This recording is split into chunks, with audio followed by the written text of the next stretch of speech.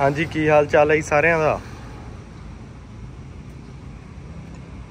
Farm 45 ਆਇਆ ਜੀ ਆਪਣੇ ਕੋ 2013 ਮਾਡਲ ਹੀ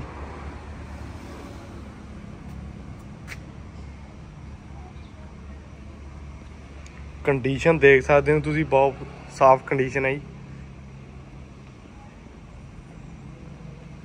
BKT ਦੇ ਟਾਇਰ ਨਹੀਂ ਇਹਦੇ ਮੂਰੇ 616 ਦੇ ਹੀ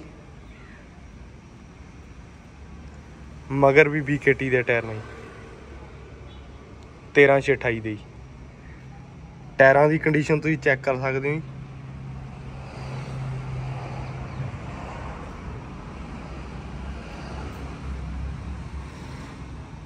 ਪੂਰਾ ਸਾਫ਼ ਟਰੈਕਟਰ ਹੈ ਜੀ। ਸੁਪਰ ਮੈਕਸ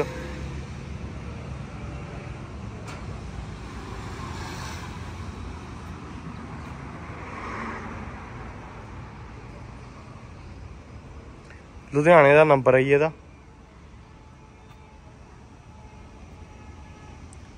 ਡਿਸਟ੍ਰੀਬਿਊਟਰ ਲੱਗਿਆ ਹੋਇਆ ਇਹਨੂੰ। ਮਗਰਾੜਾ ਦੀ ਕੰਡੀਸ਼ਨ ਚੈੱਕ ਕਰ ਲਓ ਜੀ।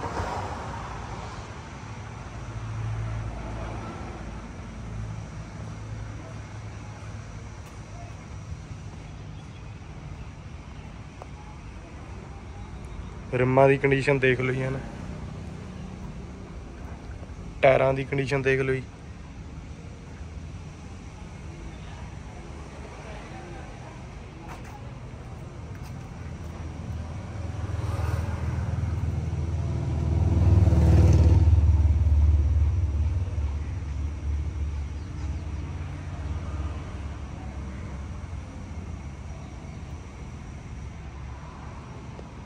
ਸ਼ੂ ਦੀ ਕੰਡੀਸ਼ਨ ਚੈੱਕ ਕਰ ਲਓ ਜੀ।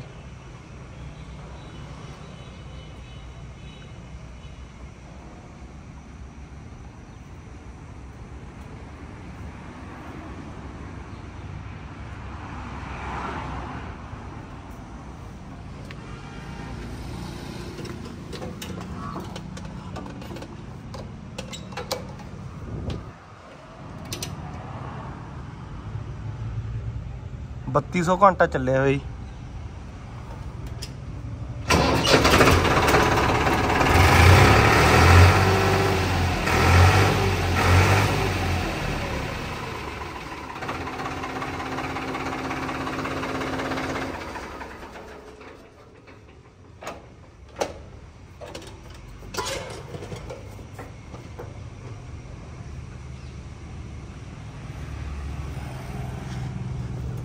ਪੂਰਾ ਸਾਫ਼ ਟਰੈਕਟਰ ਹੈ ਜੀ ਐਨ।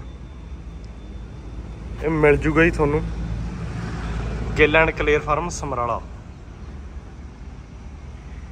ਜੇਕਰ ਇਹਦੀ ਡਿਮਾਂਡ ਦੀ ਗੱਲ ਕਰੀਏ ਜੀ ਆਪਣੀ 4 ਲੱਖ ਦੀ ਇਹਦੀ ਆਪਣੀ ਡਿਮਾਂਡ ਹੈ ਜੀ।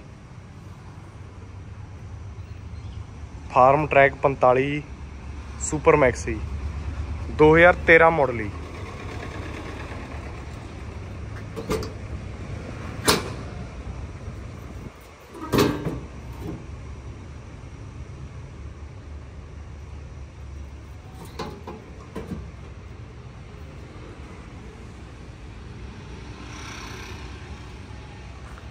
ਨੰਬਰ ਤੁਸੀਂ ਸਾਡਾ ਨੋਟ ਕਰ ਸਕਦੇ ਹੋ ਜੀ।